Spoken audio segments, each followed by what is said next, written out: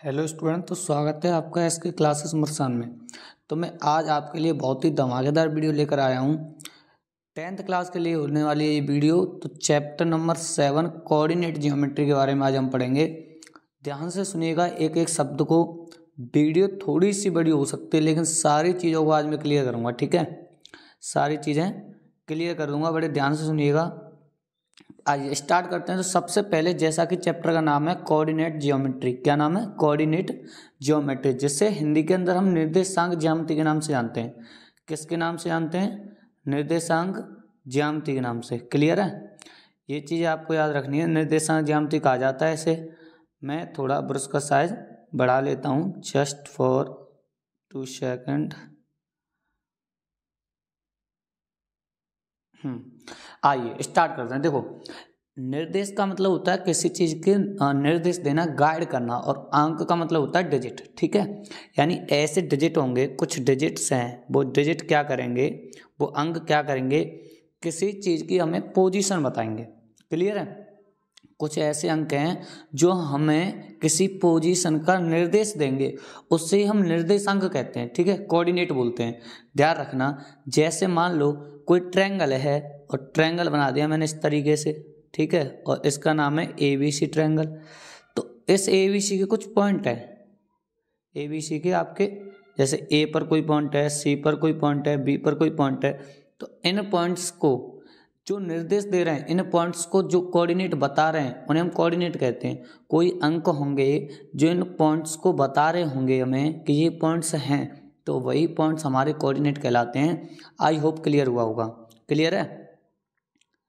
Clear है बिल्कुल? आइए, आगे चलते हैं। कोऑर्डिनेट ज्योमेट्री का मतलब हमने जान लिया है कि ऐसे कोई पॉइंट्स हैं जो किसी चीज़ की हमें पोजीशन बताते हैं। अब ए पॉइंट का मान लो टू कोमा वन कोऑर्डिनेट है सी का मान लो वन कोमा माइनस टू है। कुछ भी मान सकते हो। फॉर एग्ज़ाम्पल इसका मान लो थ्री कॉमा फोर है तो ये कोऑर्डिनेट हो गए ए बी सी के इन्हें हम कोऑर्डिनेट बोलते हैं। आई होप क्लियर हुआ होगा। आइए, आगे चलते हैं। कुछ और चीज़ें हैं, जैसे डिस्टेंस फार्मूला कोई दो पॉइंट गिवन है आपको, कोई दो, आपको बिंदु दे दिए हैं, जैसे मान लो ये कोई पॉइंट है, और यहाँ कोई पॉइंट है। इस पॉइंट का नाम रख देता हूँ मैं ए और इसका रख देता हूँ बी ए और बी दो पॉइंट हैं तो इनके बीच में ये कितनी डिस्टेंस है? ऐसे करके पूछ सकता है आपसे। इनके बीच में कितनी डिस्टेंस है? ये आपसे निकलवा सकता है। तो ये निकलवाने के लिए आपके पास है डिस्टेंस फार्मूला ठीक है? और डिस्टेंस फार्मूला क्या होता है और कैसे अप्लाई होता है, बड़े ध्यान से सुनिएगा। मान लो ए वाले पॉइंट के कोऑर्डिनेट हैं टू कॉमा थ्री क्लियर है?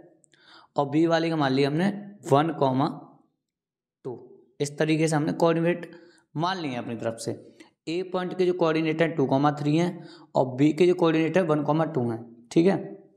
एक और इम्पोर्टेंट चीज़ बता देता हूँ, आगे वाला कोऑर्डिनेट जैसे इसमें टू है तो टू होता है coordinate of coordinate of X H S आगे वाला एक्स एच एस का कोऑर्डिनेट होता है, पीछे वाला वाई एच एस का कोऑर्डिनेट होता है, इस चीज़ को याद रखना।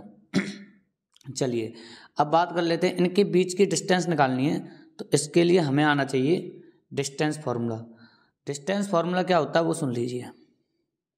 रूट के अंदर y two minus y one का whole square plus x two minus x one का होल स्क्वायर। ये होता है आपका distance formula.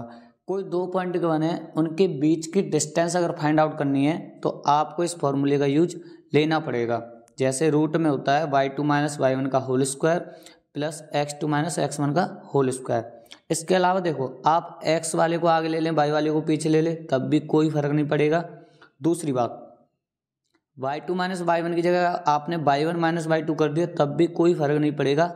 X two minus x one की जगह आपने अगर x one minus x two कर दिया, तब भी कोई फ़र्क नहीं पड़ेगा, ठीक है?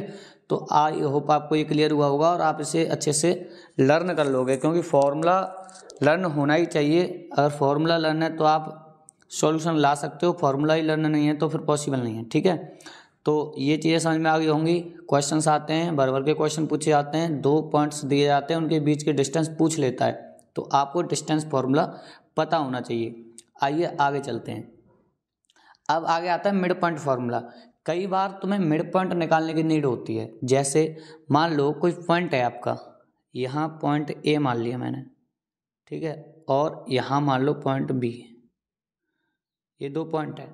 अब इनके बीच में कोई पॉइंट है सी यहाँ पर। इनके मिड में कोई पॉइंट है सी और इसके कोऑर्डिनेट आपको निकालने कई बार निकालने होते हैं। ठीक है? मिड पॉइंट फार्मूला आपको पता हो तो आप निकाल पाओगे। जैसे ए वाले के मान लो कोऑर्डिनेट है वन कॉमा टू और बी वाले के मान लेते हैं थ्री कॉमा फाइव मान लिया ऐसे। ये कोऑर्डिनेट हो गए। अब आपको इसके मिड पॉइंट वाले कोऑर्डिनेट चाहिए। यानी सी पॉइंट के जो कोऑर्डिनेट है वो चाहिए। उसके लिए आपको क्या करना है, देखो।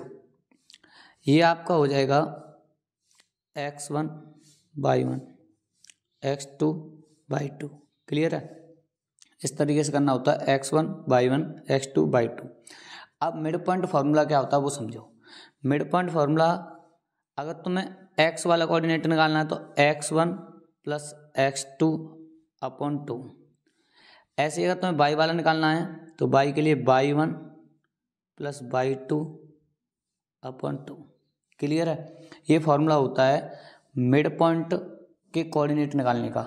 मिड पॉइंट के कोऑर्डिनेट निकालने का फॉर्मूला होता है x one plus x two upon two comma y one plus y two upon two. ठीक है?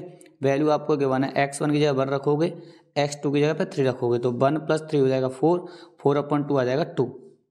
ऐसे ही बाई वन की जगह टू रखोगे, बाई टू की जगह पर सेवन तो five plus two seven seven upon two हो जाएगा बाई एक्सेस का कोऑर्डिनेट ठीक है? तो एक्स और बाई के कोऑर्डिनेट आ गए तो मिड पॉइंट के यानी सी वाले पॉइंट के कोऑर्डिनेट आ जाएँगे। आई होप क्लियर हुआ होगा, बहुत ही आसान है। बहुत ही क्विक रिविजन के तौर पर करा रहा हूँ मैं, बहुत जल्दी जल्दी, क्योंकि एग्ज़ाम आपके आने वाले हैं तो ध्यान से सुनिएगा। इस वीडियो को देखकर आपको थोड़ा सा अंदाज़ा हो जाएगा क्या क्या है चैप्टर के अंदर। ये चैप्टर की आपकी समरी है चैप्टर का निष्कर्ष है कि ये चैप्टर पढ़कर ये है टोटल चैप्टर ये चीज़ें पढ़नी है तुम्हें चैप्टर के अंदर। आइए आगे चलते हैं।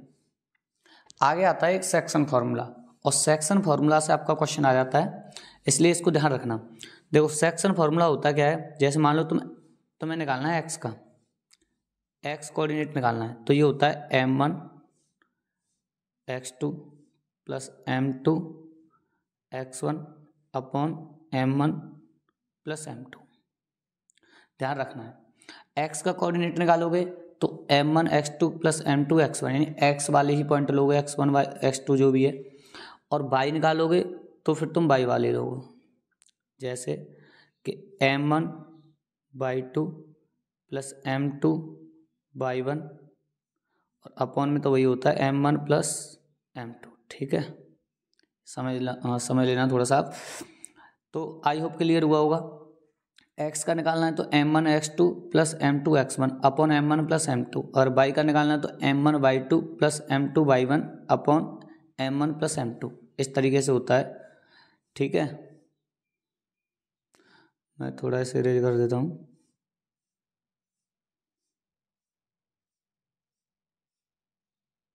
एक सेकंड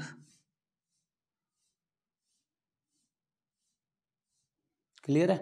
तो इस तरीके से आप सॉल्व कर सकते हो। आई होप क्लियर हुआ होगा। आपको ये सेक्शन फॉर्मूला क्लियर हुआ होगा। याद कर लेना। अगर देखो एम वन लोगे तो एक्स टू लेना पड़ेगा। प्लस अगर एम टू लोगे तो एक्स वन लेना पड़ेगा। आप किसी भी तरीके से, कोई ट्रिक से याद कर सकते हो। अपनी अपनी ट्रिक होती है याद करने का। क्या तरीका आपके पास, क्या कैपेसिटी आपकी उसके अकॉर्डिंग आप याद कर सकते हो। लेकिन लर्न आपको फॉर्मूले करने ही पड़ेंगे। ओके चलिए, आगे चलते हैं। तो आगे अगर मैं बात करूँ तो आगे देखते हैं क्या है। आगे एरिया ऑफ़ ट्रैंगल आइए। एरिया ऑफ़ ट्रैंगल को समझ लेते हैं ध्यान से। एरिया ऑफ़ ट्रैंगल होता क्या है? देखो एरिया ऑफ़ ट्रैंगल निकालने का फॉर्मूला होता है one upon two base multiply altitude altitude को आप हाइट भी कह सकते हो। लेकिन प्रॉब्लम क्या है कि ये आपका जो फॉर्मूला है, ये सिर्फ़ और सिर्फ़ काम करेगा आपके राइट एंगल ट्रैंगल में। किसमें करेगा? राइट एंगल ट्रैंगल अगर आपका कोई राइट एंगल ट्रैंगल है इस तरीके से राइट एंगल ट्रैंगल का मतलब होता है एक एंगल उसमें 90 डिग्री का बनता है उससे बोलते हैं हम राइट एंगल ट्रैंगल तो ये one upon two base into height वाला जो फॉर्मूला हम पढ़ते आ रहे हैं एरिया ऑफ़ ट्रैंगल ये होता है आपके राइट एंगल ट्रैंगल के लिए। ऐसा ट्रैंगल जिसमें बेस हो और हाइट हो, या एल्टीट्यूड कह सकते हो आप। बेस हो या हाइट हो, उसका एरिया निकल जाएगा इस तरीके से, ठीक है? अब किस तरीके से निकालोगे? देखो, ये तो कोऑर्डिनेट जियोमेट्री है तो इसमें तो बेस और एल्टीट्यूड क्लियरली आपको नहीं दिया होगा तो आपको दिया क्या होगा? देखो, मैं इरेज करके थोड़ा सा बता देता हूँ, किस तरीके से होगा। एक सेकंड आइए, देखो, जैसे कोई ट्रैंगल है, ठीक है, मैं यहाँ ट्रायंगल बना देता हूँ। ये कोई ट्रायंगल है, थोड़ा आगे पीछे हो जाएगा, ध्यान रखना। ए बी सी अब इस ए के कोऑर्डिनेट रखे हैं, मान लो वन कॉमा टू। ठीक है? बी के रखे मान लो वन कॉमा थ्री। और सी के दे रखे मान लो टू कॉमा वन। ऐसे कोऑर्डिनेट रखे हैं क्लियर है? तो अब आपको इसका, मान लो ये राइट एंगल ट्रायंगल है, और इसका एरिया निकालना है तो one upon two base into height या बेस इंटू एल्टीट्यूड तो बेस क्या है? बेस है इसका बी सी ठीक है? तो बेस निकालने के लिए आप क्या करोगे? बी पॉइंट जो दे रखे हैं और सी के जो पॉइंट दे रखे हैं, यानी बी के जो कोऑर्डिनेट दे रखे हैं वन कॉमा थ्री और सी के जो दे रखे हैं टू कॉमा वन इनके बीच की डिस्टेंस निकालोगे। डिस्टेंस फार्मूले से, जो मैंने अभी पीछे आपको बताया था ना डिस्टेंस फार्मूला रूट में जो था तो डिस्टेंस फार्मूले से बी सी के बिटवीन डिस्टेंस आ जाएगी, वही आपका बेस होगा। ऐसे ही आप ए सी के बीच की डिस्टेंस निकालोगे, वो आपका हो जाएगा एल्टीट्यूड ठीक है? वो आपका एल्टीट्यूड हो जाएगा। ठीक है? आई होप क्लियर होगा। उसके बाद बेस और एल्टीट्यूड आते ही आपको कैलकुलेशन कर देनी है तो एरिया ऑफ़ ट्रायंगल आ जाएगा। लेकिन ये तब लागू होता है जब ट्रायंगल आपका राइट एंगल ट्रायंगल हो। प्रॉब्लम तब आती जब आपका ट्रायंगल कैसा हो? आपका ट्रायंगल हो स्केलेन ट्रायंगल मतलब आपको राइट एंगल ट्रायंगल नहीं दिया है, लेकिन ट्रायंगल के ए बी सी के पॉइंट दिए हैं कोऑर्डिनेट दिए हैं। तब कैसे निकालोगे? उसके लिए सुनो, आगे चलते हैं। उसके लिए एरिया ऑफ़ ट्रायंगल निकालने का एक फॉर्मूला होता है one upon two x one bracket में y two minus y three plus x two y three minus y one plus x three y one minus y two. ये formula होता है, इसे थोड़ा याद रखना। ये वाला जो फार्मूला है, इसे देख लेना ध्यान से और याद कर लेना। आपको मान लो कोई ट्रायंगल दिया है, ठीक है, मैं ट्रायंगल ले लेता हूँ। आपको कोई ट्रायंगल दिया है, ये आपका ट्रायंगल है, ठीक है। तो आपको इसके कोऑर्डिनेट भी दिए होंगे। जैसे मान लो यहाँ दे दिया टू कॉमा वन एक सेकंड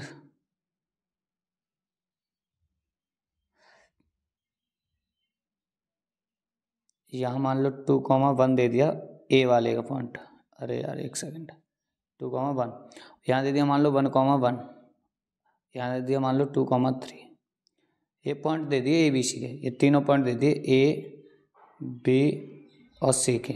ठीक है? ए बी सी के कोऑर्डिनेट दे दिए। अब आपको क्या करना है? इस तरीके से मानना देखो, यहाँ से स्टार्ट करो ए से। X one y one x two y two x three y three ठीक है? इस तरीके से मान लेते हैं आप। आपको पता होगा, अगर आपने थोड़ा बहुत भी पढ़ा होगा तो x one y one x two y two x three y three उसके अलावा देखो आपके सामने फॉर्मूला है, उसमें वैल्यू पुट करनी है। देखो, मैं आपको ये क्विक रिवीजन करा रहा हूँ। बस मैं आपको बता रहा हूँ कि ये ये चीज़ें आपको पढ़नी है एग्ज़ाम के लिए। एग्ज़ाम बहुत नज़दीक है। एक दो महीने बाद एग्ज़ाम है। तो उसके लिए मैं आपको डिटेल में नहीं बता पा रहा हूँ, मैं आपको क्विक रिवीजन के बेस पर बता रहा हूँ कि आप थोड़ा मोटा मोटा इस तरीके से याद कर सकते हो। बाद बाकी मैं डिटेल में बताता तो बहुत पहले बताता। आई होप आप मेरी बातों को समझ रहे होंगे। कि आपको क्विक रिवीजन करना है। आपको एक बार दिमाग में इनको दोहराना रिपीट करना है कि ये चीज़ें हैं जो हमें पढ़नी है एग्ज़ाम के लिए, जो हमें पता होनी चाहिए। वो चीज़ें मैं आपको बता रहा हूँ। डिटेल में तो मैं अगर बताता तो स्टार्टिंग से बताता। अब तो सेशन खत्म होने को है।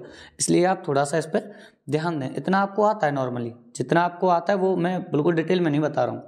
अब ये फॉर्मूला एक्चुअल में क्या होता है? इस फॉर्मूले को हम ज़्यादातर टाइम भूल जाते हैं। तो इसके लिए कोई होनी चाहिए शॉर्ट ट्रैक क्लियर जैसे हम x one x two x three का तो पता है, हमें बाहर आता है, लेकिन ब्रेकेट में y two minus y three y three minus y one और y one minus y two इसे भूल जाते हैं। तो इसके लिए आपकी शॉर्ट ट्रिक क्या है? आपको याद रखना है, तेईस, इकतीस एंड बारह, ठीक है? तेईस, इकतीस, बारह, तेईस से मतलब y two y three minus तो आएगा तीनों में y two y three y three y one y one y two यानी आगे वाला बाई वन बाई मानना है और टू है तो बाई टू है। पीछे वाला भी बाई के साथ लेना है। थ्री तो y three y two minus y three ऐसे ही आगे वाला हो जाएगा। बाई बाई तो ये भी है। सारे बाई हैं इसमें। ये सारे इसमें बाई हैं। याद कैसे रखना है? Y two minus y three y three minus y one और y one minus y two clearly याद हो जाएगा। तेईस इकतीस बारह याद रखना है। तेईस इकतीस बारह तेईस इकतीस बार याद रखोगे तो आपको कोई कन्फ्यूज़न नहीं आएगी। तेईस इकतीस बार याद रखना है।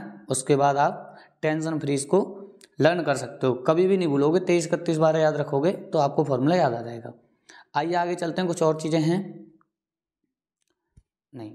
अब कुछ भी नहीं है, आपको मैंने सारी चीज़ें बता दी हैं। Mid point formula distance formula section formula और एरिया ऑफ़ ट्रेंगल का फार्मूला ठीक है? ये सारी चीज़ें मैंने डिस्कस कर दी हैं। सबसे मेनली था तेईस इकतीस बार है इसको आप याद रख सकते हो। शॉर्ट ट्रिक है ये आपके लिए। आई होप आपको वीडियो पसंद आई होगी। अगर आपको वीडियो पसंद आई तो इसे लाइक करके जाना। और अपने दोस्तों के साथ इसे शेयर कर देना। ठीक है भाई? इतना सा काम कर देना। और अगर ऐसी वीडियो आपको देखनी है तो चैनल को सब्सक्राइब कर लेना। ठीक है? चैनल को सब्सक्राइब कर देना। ऐसी वीडियो मैं अक्सर डालता रहता हूँ। और भी आपको कोई डाउट है, परेशानी है, दुख, तकलीफ़, समस्या, कष्ट, परेशानी है तो आप कमेंट में मेरे कमेंट बॉक्स में जाके कमेंट कर सकते हो। कोई भी कैसा भी डाउट है, मैं वहाँ क्लियर कर दूँगा। ठीक है? मैं सबका रिप्लाई करता हूँ। तो आप कमेंट में मेरे से डिस्कशन कर सकते हो, ठीक है? तो आई होप आपको वीडियो पसंद आई होगी। मिलते हैं नेक्स्ट वीडियो में।